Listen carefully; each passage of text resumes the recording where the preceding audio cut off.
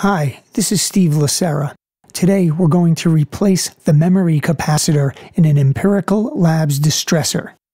The distressor has a memory circuit that retains your switch settings when you turn it off or unplug it.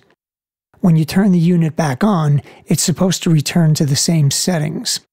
As these units get older, the capacitors used to power this memory circuit lose their ability to hold a charge, and the settings aren't stored.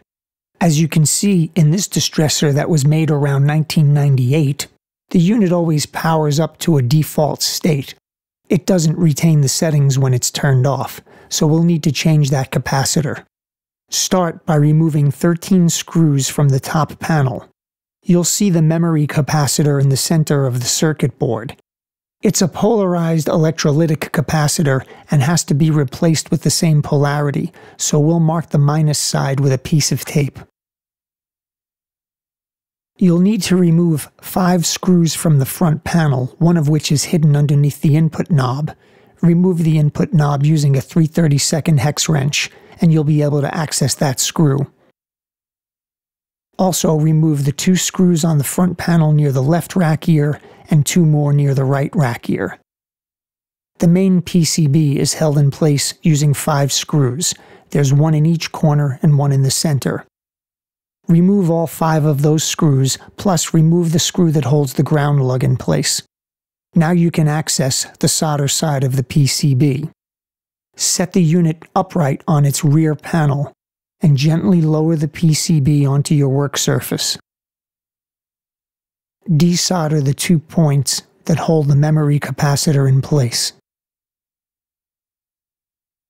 Then flip the circuit board up and remove the capacitor. We'll use an exact replacement, an Elna Dynacap 0.047F at 5.5 volts DC. Check the polarity of the cap, making sure that the minus on the capacitor lines up with the minus on your circuit board. Flip the PCB over and then solder the new capacitor in place. When you're done soldering, replace the screws that hold the PCB in place and also the screw that holds the ground lug in place. Remove the tape from the circuit board before you reassemble everything. Now, when the units are powered down, they'll retain the switch settings. If we alter the settings on the front panels of both of these distressors and then shut them off, they'll come back to the same switch settings.